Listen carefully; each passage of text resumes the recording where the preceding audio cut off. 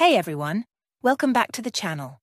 Today we've got a step-by-step guide on how to use the IP range checker to check the HTTP status codes of Cloudflare and CloudFront IPs. But before we dive in, make sure to hit that like button, share this video, and subscribe to stay updated with our latest content. Now, let's get started. Segment 1.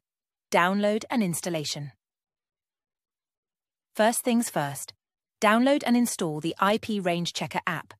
You can find it on your mobile app store or on the web.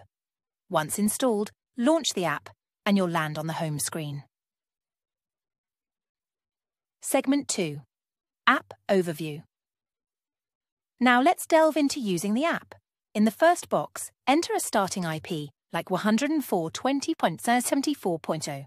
And here's a crucial point. In the second field, ensure that the ending IP is greater than the starting IP. If not, you risk encountering errors, as demonstrated. Choose a port, such as 80 or 443, and set a timeout limit. Let's stick with the standard 1000 milliseconds. You can also filter results based on HTTP status codes like 200, 301, and 403. Segment 3. Testing with data. Once your configuration is set, click on the Check button.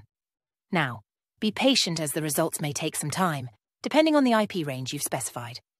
If you're using Wi-Fi or data, expect HTTP status 403. You'll see a variety of IPs with different HTTP status codes. Segment 4. Testing without data. Now let's explore testing without data. Input the IPs, port, timeout limit, and click Check. After a few minutes, depending on the IP range, the results will appear. Remember, without data, you might encounter errors. It could be due to your network restrictions or the chosen port and timeout limit. Conclusion. And there you have it. A comprehensive guide on using the IP range checker for Cloudflare and CloudFront IPs. If you found this helpful, don't forget to hit that like button share it with your friends, and subscribe for more tech guides.